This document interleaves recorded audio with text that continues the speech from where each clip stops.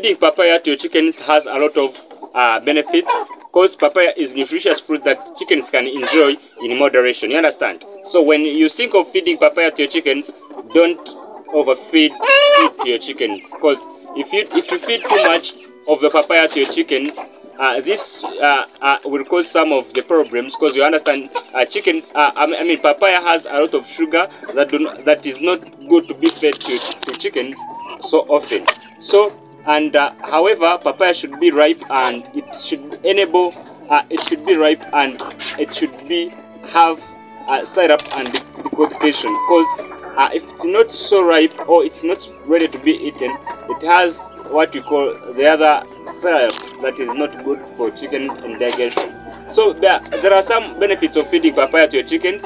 Of course uh, we have like it boosts immune system. Take this note so clearly and it also improves uh, egg production and egg quality.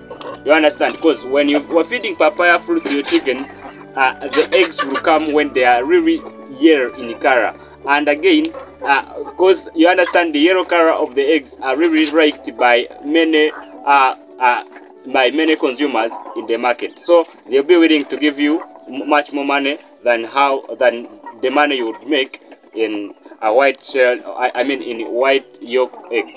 so uh, it also aids in digestion so if your chicken have uh, problems with indigestion you can supplement them with papaya to also help them in digesting their uh, food easily. And it also have some other essential vitamins and minerals, of course, that to help in the chicken, uh, in the chicken's uh, healthy. So uh, again, uh, it has some other uh, natural oxidants uh, that will uh, that will help in inflammation.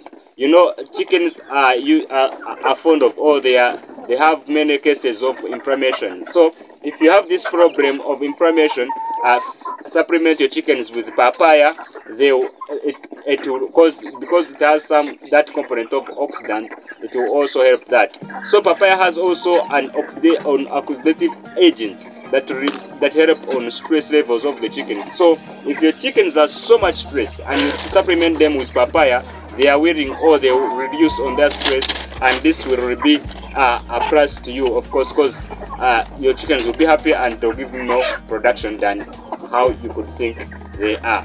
So however you should remove the seeds of papaya. The, the seeds of papaya should not be fed to chickens. Of course if uh, i have i have heard uh, and seen a lot of blogs that say that uh, seeds of papaya help in uh, in warm or in deworming chickens.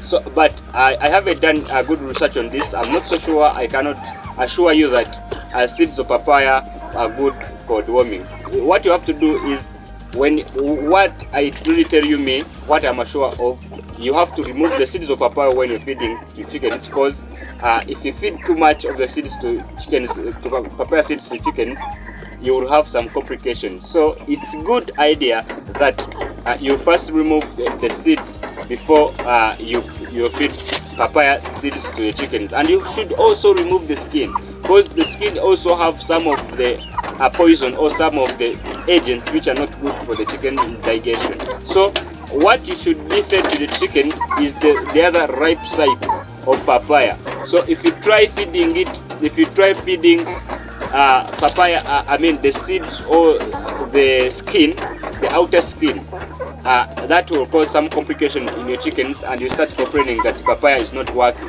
So it's good that you use uh, the papaya but the other one ripe one which is the mid the middle the what we call the uh, from outermost uh, layer and then in the seeds then the, the that between uh, layer is the one that is supposed to be fed to the chickens.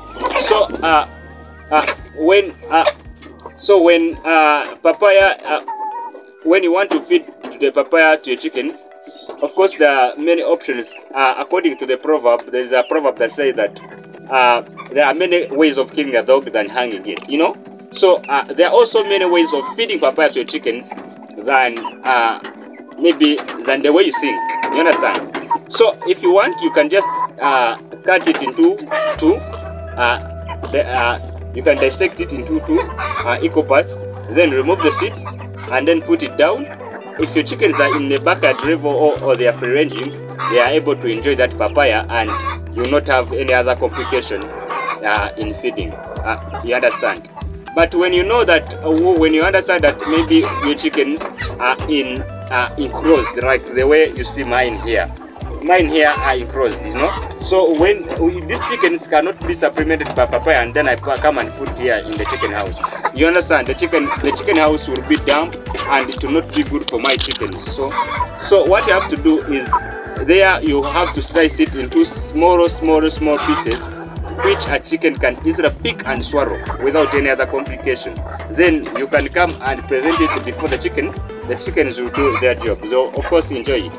So when you also see that that is also uh, very hard to do, when maybe you have a blender at your home, you can also still put it in the blender, then blend it. After blending it, uh, you get like uh, a liquid form of papaya. Then that liquid form, you can either put it, you can also put it in the drinking water. It will be fine for your chickens uh, still enjoy the water that has that, papaya. So the components of the papaya you can feed to your chickens, there is a fruit, which you have to remove seeds and the outermost layer. Then you can also feed papaya ribs, where you will first wash them. Of course, you, uh, even fruits must first be washed because there are some of the bacteria and viruses on outermost skin, which may cause some of the complications in your chicken. So you wash the, if you want to feed the ribs, you wash the ribs of course first, and then review, uh, and then either put it the blender and blend it.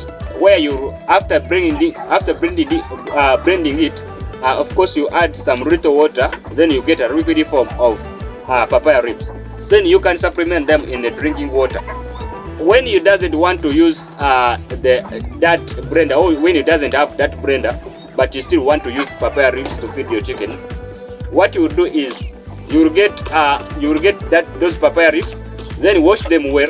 After washing them well you will put them uh, in the shade because if you sun dry them some of the uh, you understand some of the minerals and uh, vitamins will get roast to the sunshine. Because some of the, them are still sensitive to the heat and, and direct sunshine. So what you have to do is you put them under the shade, then leave them under the shade.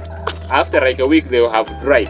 After drying it, then you smash them into a powder. After getting powder, that powder will not be added to a drinking water. That powder will be added to the feeds. So I recommend you will be using 10 grams per 10 kgs of feeds. So meaning that when you have 100 kgs, you only use one. When you have uh, 100 kgs and you want to supplement with powder, I mean with uh, the papaya powder, you put, uh, uh, you can get uh, 10, 10 grams times, you can get 10, 10 grams times 100. Then you get 1 kg. So in 100 kgs, you just put 1 kg of papaya powder. So you understand there, there to work for well as a way you could think. I hope this information was so helpful to you and catching um, I'll catch you out soon with another episode. I believe in you. You can also do whatever you want to do as long as you are subscribed to this YouTube channel. You'll get all the facts about poultry farming. So you're welcome and do not forget to share it with a friend so that you can also get this informative video the way you have got it. Thank you so much. Catch you out with another episode.